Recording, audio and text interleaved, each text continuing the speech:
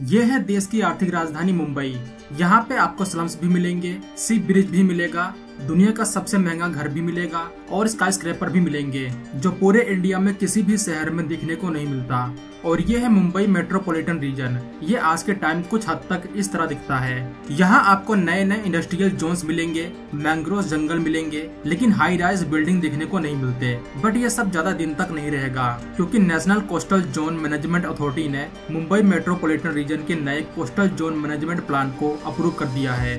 इस अप्रूवल के बाद अब इस पूरे कोस्टल रीजन का वर्टिकल डेवलपमेंट हो पाएगा। यानी जो स्काई स्क्रेपर्स आपको सिर्फ़ मुंबई आइलैंड सिटी में देखने को मिलते थे, अब वो पूरे एमएमआर रीजन में देखने को मिलेंगे। और यहाँ सिर्फ़ मुंबई मेट्रोपोलिटन रीजन ही नहीं है। इसके अलावा आस पास के कुछ डिस्ट्रिक्ट को भी इस प्लान का हिस्सा बनाया गया है।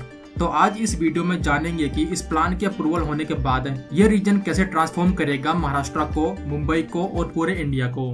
दोस्तों national coastal zone management authority एक गवर्नमेंट अथॉरिटी है जिसको बनाया गया है इन्वायरमेंटल प्रोटेक्शन एक्ट 1986 के अंडर। इस अथॉरिटी के अंडर में आता है overall planning coordination implementation of coastal regulation zone ये अथॉरिटी काम करती है फॉरेस्ट एंड इन्वायरमेंटल मिनिस्ट्री के अंडर। अगर सिंपल भाषा में बात करें तो बिना इस अथॉरिटी के आप कुछ भी एक्टिविटी नहीं कर सकते इंडिया के कोस्टल जोन में। सो so, इस मंथ में एक बड़ी खबर निकल के आती है। मुंबई मेट्रोपॉलिटन रीजन के कोस्टल मैनेजमेंट प्लान को इस अथॉरिटी के द्वारा अप्रूव कर दिया गया। इस प्लान को 2019 में बनाया गया था। अब इस रीजन के कोस्टल एरियाज़ में वर्टिकल डेवलपमेंट देखने को मिलेगा, जो पहले नहीं था। इस प्लान में पूरे एमएमआर को शामिल किया गया है, मुंबई को छोड़ के। अब इसमें मुंबई को क्यों शामिल नहीं किया गया, इसके बारे में आगे बताऊँगा। इसके अलावा इस प्लान में कुछ और डिस्ट्रिक्ट को शामिल किया गया है, जहाँ पे रियल एस्टेट सेक्टर की डिमांड ज़्यादा है। जैसे थाने, पालघर और रायगढ़।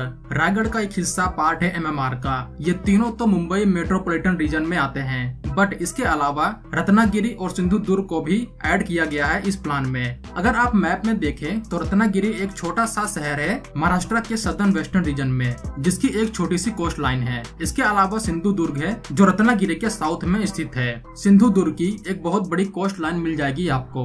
इन दोनों रीजन को इसलिए सिलेक्ट किया गया है, क्योंकि यहाँ रियल एस्टेट की डिमांड ज़्यादा है। तो इस प्लान के इम्प्लीमेंट होने के बाद, यहाँ पे भी हाई राइज बिल्डिंग देखने को मिलेंगे, यानी कोस्टल एरियाज़ में। ये कुछ ऐसा ही होगा जैसे आपको अभी तक ऑस्ट्रेलियन अमेरिकन कोस्टल सिटीज़ में देखने को मिलते हैं। अब उस सवाल पे आते हैं। कि मुंबई को इस प्लान का हिस्सा क्यों नहीं बनाया गया? मुंबई के लिए एक अलग से coastal zone management plan exist करता है, जिसको 2022 यानी पिछले साल ही अप्रूवल मिला है। वेल शायद इस बात को डिटेल में बतानी चाहिए थी स्टार्टिंग में। तो अब देखते हैं कि ये कोस्टल जोन मैनेजमेंट प्लान आखिर काम कैसे करेगा?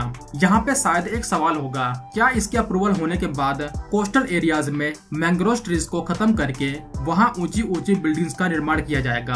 अगर कुछ लोगों के मन में यह बात होगी तो ये बिल्कुल गलत है, क्योंकि ऐसा कुछ नहीं होने वाला। कोस्टल जोन मैनेजमेंट प्लान इस नाम में ही इसका मतलब छुपा है। यानी ऐसा प्लान जो कोस्टल जोन को मैनेज करे। वहाँ पे सभी प्रकार की एक्टिविटी को एक प्लान के अकॉर्डिंग किया जाए।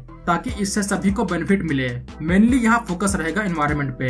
इस प्लान का एम होगा कोस्टल इन्वायरमेंट रिसोर्स को प्रोटेक्ट करना, बिना इन्वायरमेंट को नुकसान पहुँचाए सस्टेनेबल डेवलपमेंट को प्रमोट करना। और ये डेवलपमेंट एक प्लान के अंडर ही किया जाएगा, जिस प्लान को बनाया गया है कोस्टल जोन के लिए। अभी तक ऐसे एरियाज़ के लिए कोई प्लान नहीं था बट अब यहाँ एक प्लान आ चुका है।